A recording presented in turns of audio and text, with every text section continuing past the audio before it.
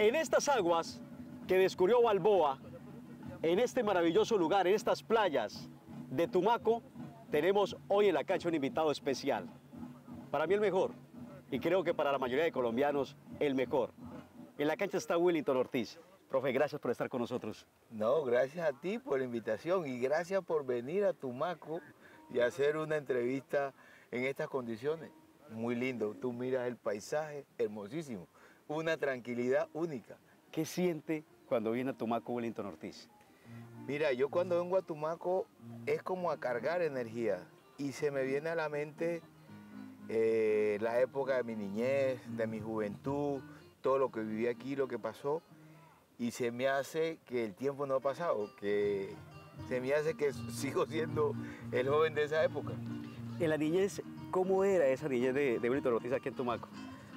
A ver, la niñez era una niñez sana donde se podía hacer eh, todos los juegos, compartir con los amigos, jugar en la playa, meterse al mar, eh, hacer todas las actividades que uno puede hacer en un sitio como esto. En la ciudad pues no le da a los jóvenes o a los niños tener esa, esa posibilidad. ¿La pelota era normal o la pelota era de trapo o cómo era, Willy? No, era una pelota que se hacía aquí de caucho. En esa época había, no, no, la tecnología no, no era tan avanzada y entonces acá hacíamos una pelota de caucho. ¿Y quién te regaló la primera pelota, Willy? ¿Quién me regaló? Oiga, no, no tuve pelota. ¿No tuviste no pelota? No tuve pelota. A mi papá no le gustaba el fútbol, entonces no me regaló una pelota, yo no tuve una pelota. Y entonces, ¿cómo, cómo, cómo tu papá, cuando lo ve jugando, cuando niño, qué le decía? No, me decía que no, que, que, que, me pusiera a estudiar, que no bobeara con eso y que no anduviera de vago jugando al fútbol, porque, porque eso no me iba a dar para nada, no, que eso no me iba a servir para nada, que estudiara, que eso sí me iba a dar para, para, para vivir y para mi, mejorar mi calidad de vida. O sea que cuando niño tampoco hubo guayos. No, pues guayos. Peor, no, si no había tenía- pelota. No, había pelota, ¿cómo?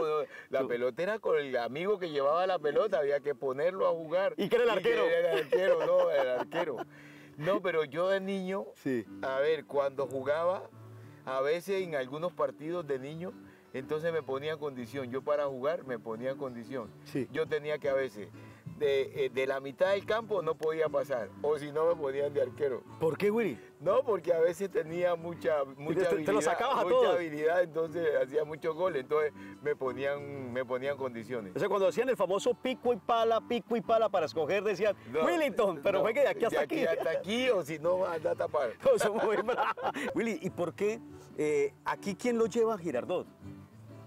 Bueno, aquí había un cura, Sí. que un cura español, eh, Félix, se llamaba Félix, o se llama Félix Escotas Aguirre, y entonces él le gustaba mucho el fútbol, como español le gustaba el fútbol, y él iba a la cancha, iba a la cancha y nos veía jugar, entonces eh, él hizo el contacto, porque tenía unos amigos a Girardot, en Girardot hizo el contacto de que fuéramos algunos jugadores de acá, fuimos como, como cuatro o cinco jugadores, fue Eladio Vázquez, fue Montaño que jugó en, en Caldas y me llevaron a mí y dos compañeros más.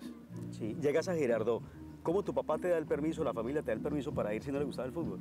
Bueno, a mi papá no, no le gustaba el fútbol, pero entonces había que hacer la vuelta y el permiso era a través de mi mamá, La no a mamá, través de mi claro. papá, era a través de mi mamá. Entonces era coger a mi mamá, convencerla y Sí. decirle, y ella entonces ella ser asequible y ella convencer a mi papá que yo iba a salir a, a hacer lo que me gustaba.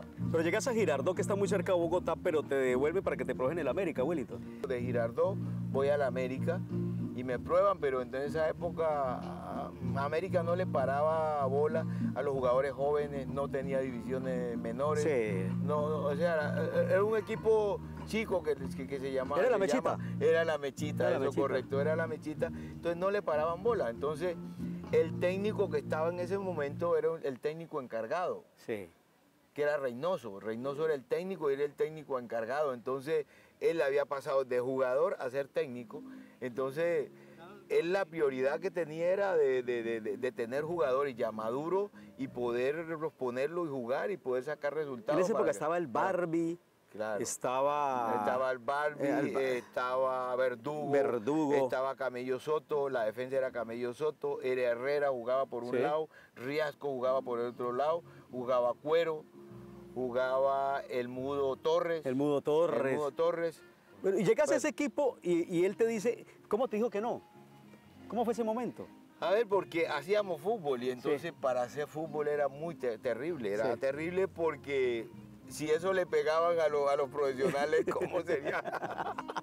¿Cómo serían los de la reserva? Sí, claro, Imagínate. claro. Entonces eran terribles, entonces, pero que era Verdugo, eh, Soto, Sí. Herrera. Riasco, no, eso pegaban demasiado, pegaban, lo pegaban demasiado, entonces uno para, para, para jugar era, era difícil porque, porque con ellos no podía jugar uno, no, hacía fútbol a veces con la profesional, pero, pero era muy difícil y el técnico no le interesaba o no hacía, no hacía respetar a, A los chicos. A los chicos, y entonces. Y el, y el otro lío era porque entrenábamos en la base, Sí. ahí en Cali, en la base aérea. Entonces había una, una bucetica pequeña, entonces la buceta, la buceta era muy pequeña. Entonces, si uno terminaba primero los entrenamientos, tenía que pararse un poquito y esperar que subieran los profesionales, se sentaran y uno hice después parado. Estamos con el gran Willington Ortiz en la cancha. Vamos a ir un corte y cuando volvamos vamos a seguir con esta entrevista especial con uno de los grandes que ha dado el fútbol para muchos fútbol mundial.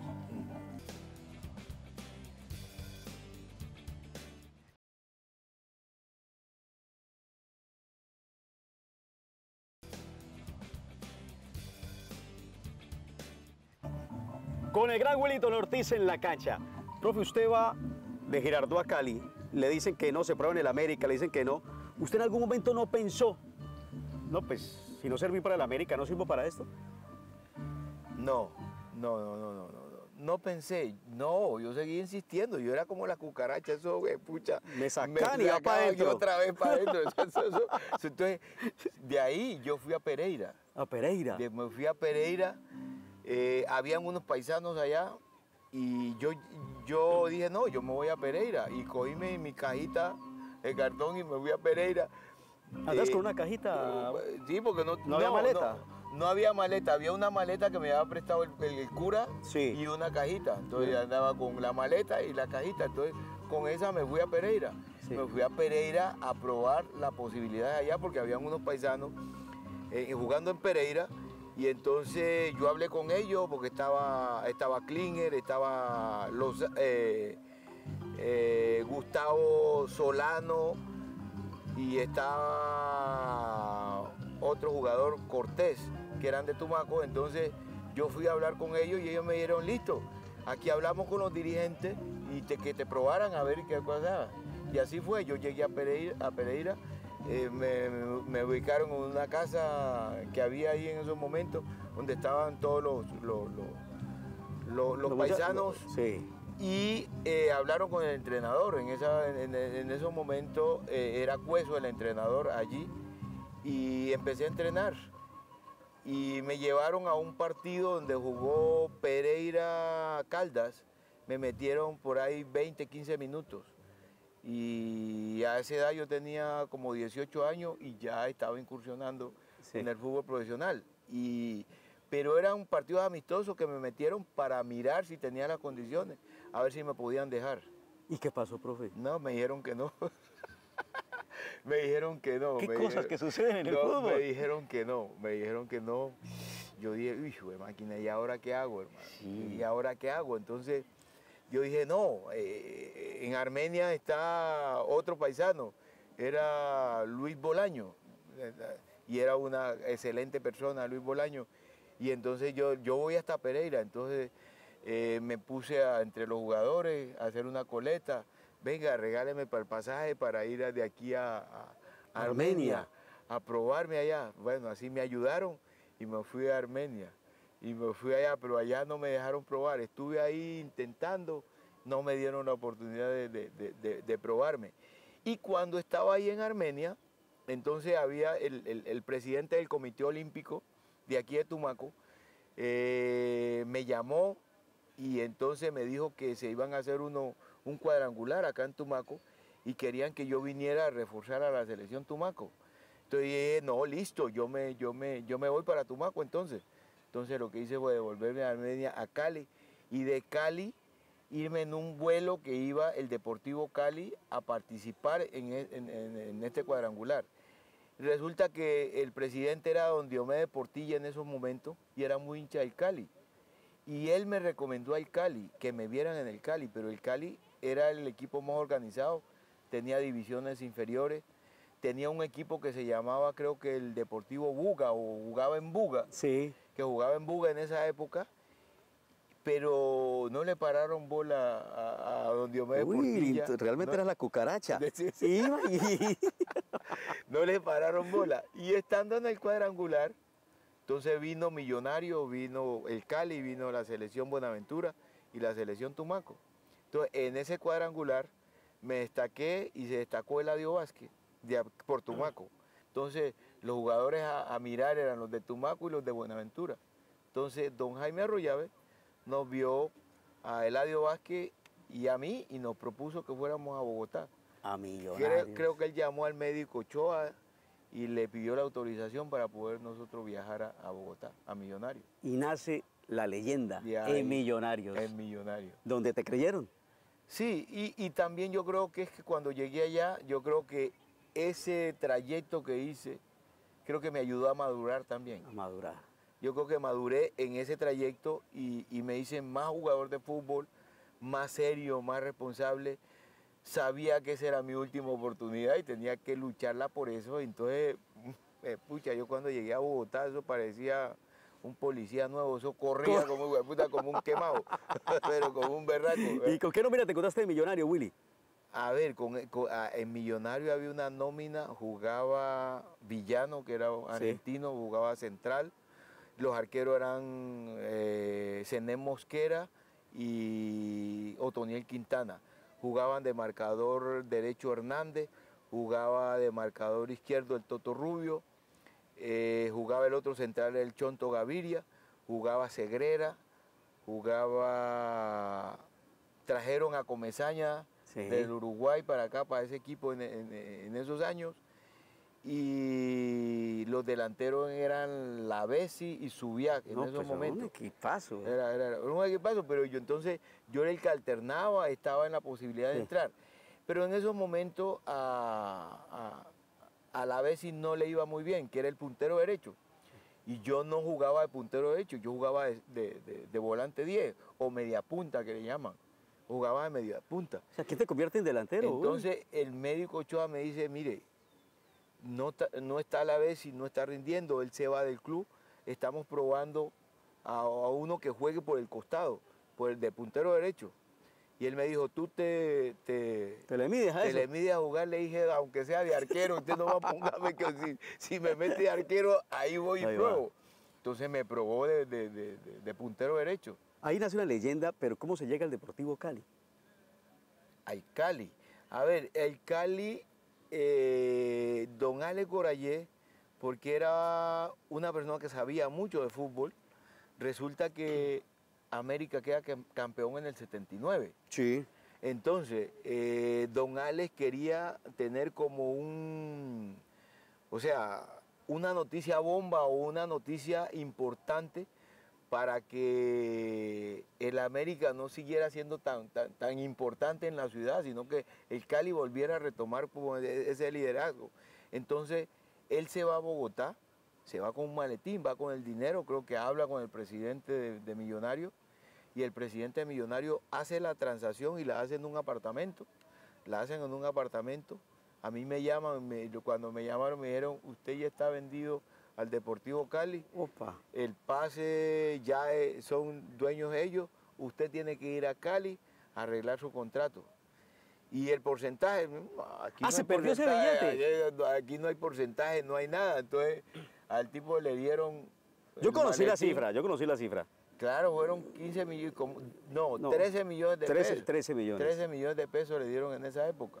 Y no apareció ningún billetico para el Willy. No, para mí no me dieron ni un, ni un peso, no me dieron ni un peso. Y se hizo esa transacción y vine para el Deportivo Y Cali. fue la noticia bomba. Claro, fue la bomba. Y eso es lo que quería don Alex Corayé. Claro. Él eso es lo que quería. Él quería un impacto importante. Willy, eh, hiciste goles espectaculares, pero los dos al Pato Fillol, ¿qué significaron? No, yo creo que esos fueron los, no tanto el que se hizo en Cali, más por la forma como se hizo, fue el que se hizo, el que le hice eh, eh, a River allá en, eh, en el Aires, Monumental. en el Monumental. Ese fue más importante porque la jugada es saliendo desde la mitad del campo, No. en velocidad, driblando rivales, ganando en velocidad, driblando al arquero. ¿Quién era el que iba detrás a, a- a cogerte y no te alcanzaba? ¿Era Eh, Pasarela o...? Pasarela el que iba atrás, Sí. pero entonces era tan rápido que él me alcanzó a, a agarrar la camisa y yo le di un golpe con la mano y, y- y- y me suelta la camisa y, y- y yo sigo, enfrento al arquero y lo driblo y hago el gol. Cruza adelante para Willy. Ahí va llevando la pelota. Se va Willy. Se corre. Se corre Willy. Se corre Willy. Se corre Willy. En las 18 está. Elude. A Fillol. Va a patear. Patea. Pero no se pudieron ganar títulos con el Cali, ¿no? No, no pudimos, llegamos a ser segundo, pero no pudimos ganar título. No se pudo ganar títulos. Llega el América en otra noticia bomba y de escándalo, Willy. Sí, sí, sí, porque pidieron mucho más dinero. O sea, pidieron dinero, pidieron, creo que dieron como 60 millones de pesos. Ahí sí recibió el porcentaje. Nada, tampoco, recibió el porcentaje. No, porque, porque, porque se hizo una transacción, porque ellos dijeron, no, es que hicimos una transacción, hicieron can, canje. Porque nosotros fuimos, yo fui con el Bañe- Valle- Vallenato Agudelo. Sí, en Vallenato esa- Agudelo. En esa época. Sí. Fuimos los dos al Deportivo Cali. ¿Y el canje por quién era? ¿Quién llegaba? No. ¿Quién llegaba?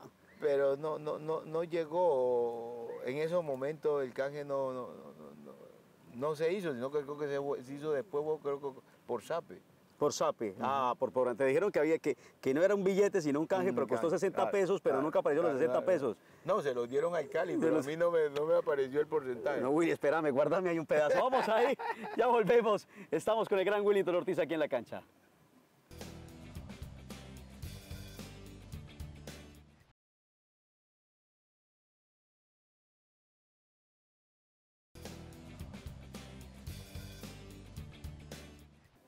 Willington, transferencia tras transferencia, tres importantes sin ver un peso. Sin ver un Sin peso. ver un no, no, peso. no vi un peso. Pero llegas al Gran América y comienza ahí el pentacampeonato, la gran historia de ese América. Sí, ¿Cómo sí. fue eso, Willy? A ver, eh, eh, se logra armar un equipo muy fuerte, muy bueno.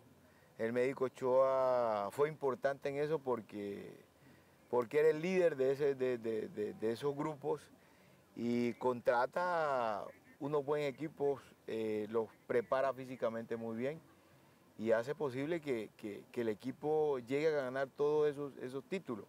Pero es que el problema o- o- o la, o el paso final no era tanto los títulos colombianos, sino que era Sí, la era lo Copa internacional, Libertadores. Lo internacional. Era lo internacional, era la Copa Libertadores. Y ese equipo se armaba cada año, era para ganar la Copa Libertadores. ¿Por qué en América no se ganó la Copa Libertadores? Mire, yo creo que no eran las cosas para la América. O sea, o no era el momento para que la América sea campeón de Copa Libertadores. Porque se intentó de todas las maneras y de todas las formas.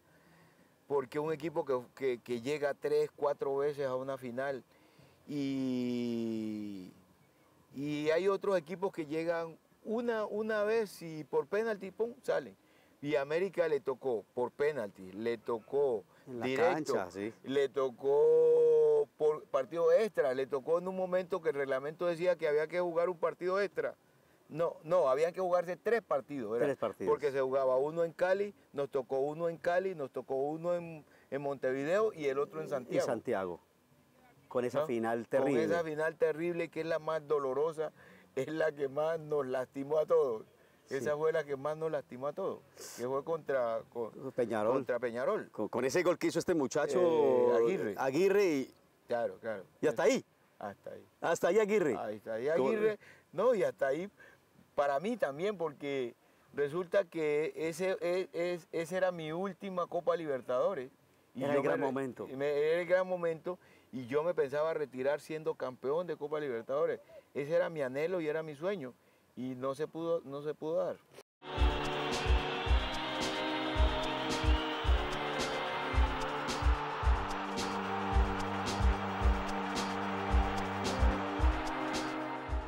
O sea que te fuiste con dolor. Claro, claro, claro, me fui con dolor, claro, me fui con dolor. El Guayabo queda irse y además no haber La logrado... Copa Libertadores, que era, o sea, que nosotros logramos desde el año 83 soñando con eso. Willington y no ir a un mundial. Pero no me dolió tanto no ir a un mundial como lo de Copa Libertadores. Ah, ya es otra no me ya dolió tanto, mayor. no, no me dolió tanto porque eh, eh, con América para llegar a, a- a ser campeón estaba mucho más cerca. Mm. Con la selección para ir a los mundiales era un poquito más complicado, era más difícil. Eh, no estaba tan cerca como si la tuvimos tan cerca con el América. No, en esa época también en Sudamérica volaba Brasil, volaba Argentina, No, volaba Uruguay. Era, había muchos equipos muy fuertes. Y Colombia se sentía chico. y Colombia era de los equipos chicos, era, era, era, eh, era apenas empezábamos un proceso para llegar a ser un equipo reconocido y importante como es ahora. Willington, ¿el país te reconoció o por un momento Colombia te lastimó? No, me reconoció, siempre reconoció me reconoció, siempre. me reconoció siempre lo que hacía, la dedicación, el esfuerzo que hacía por, por, por- primero en los clubes y segundo en la selección Colombia. Se me queda dando de Willy. La número uno. ¿Qué dijo el viejo cuando ya eras el gran Willington Ortiz? Ah, no, mi papá me, me, me- me decía, "Oh, bueno, el fútbol sí sirve, ¿no? Por ahí sí era, por ahí era. El fútbol sí sirve, ¿no? Tuve que convencerlo, tuve que convencerlo para, para él darse cuenta después que el fútbol sí era importante y sí era parte de mi vida y era algo que, que nos cambió a todos la, la calidad de vida, a todos nos cambió la calidad de vida, a todos, porque me cambió a mí y a mi familia también. Y cambió a Tumaco. Y, a- no, y claro, cambió a también, Tumaco. aunque los tumaqueños no lo reconozcan, pero, pero sí. Cambió a Tumaco. eh, por lo menos, por lo menos que lo conozcan y, y tenga una referencia. A Sí. Tumaco tiene una referencia que es Willington Ortiz. Willington Ortiz. Hay otra que me nace en este momento. ¿No tuviste balón de niño? ¿Cuándo tuviste un balón propio? Un balón propio. No porque cuando entrenaba tampoco era mío, pero, pero un balón propio, claro, porque todos eran del, Era del equipo. Un balón propio, hubo un momento que se hizo el balón del viejo Willy. El balón del viejo Willy, claro, Eso reconocido. Un balón un reconocido, Claro. se hizo, se vendió, a los niños les gustaba mucho. Los de esa generación se han dado cuenta que ese balón fue importante Sí. porque eso, eso salió para un diciembre y casi todos los niños querían el Querían balón, el balón del viejo Willy, hombre, por Dios. Y ahí tuve un balón. ¿A qué arquero tenías de hijo? No, pero no, no, no tanto de hijo, no podemos decir que, había un arquero de hijo. Pero sí me acuerdo que en mi, en mi- en mi debut hice tres goles. No. En mi debut eh, en el fútbol colombiano. Sí.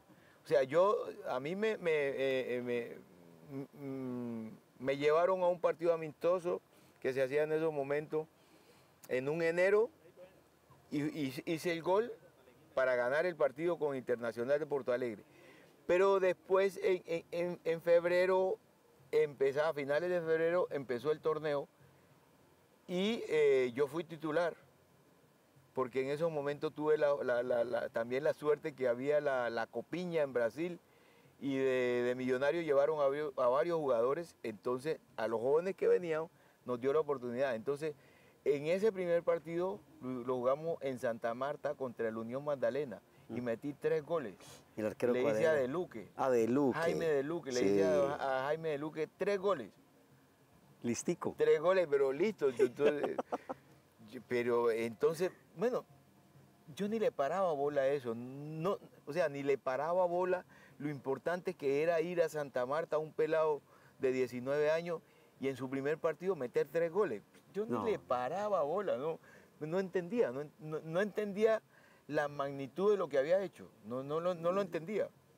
No lo entendía porque, porque para, para debutar uno y hacer tres No. goles, pues pucha, eso Ya estamos es- hablando de nivel, hombre. Claro, claro. eso es- Willington, quiero finalizar con esta pregunta. ¿Para usted qué es el fútbol? A ver, el fútbol para mí es lo más lindo que hay, es el espectáculo más lindo que hay. Y para mí yo creo que le debo muchísimo al fútbol y le debo muchísimo a la pelota. Hizo que, que una familia cambiara y cambiara su condición de vida y, y hizo que un ser humano se preparara, se capacitara y fuera eh, importante para la sociedad. Maestro, ha sido un placer. No, a usted. Gracias por la entrevista. Y pues como estamos en esto tan lindo, tan Ahora vamos a tirar playa. ay, hay, hay que tirar playa, hay que ir al mar, hay que estar contento y estar feliz, porque aquí se pasa contento y se pasa muy feliz. y muy tranquilo. Desde Tubaco, este especial para en la cancha con el gran Willington Ortiz.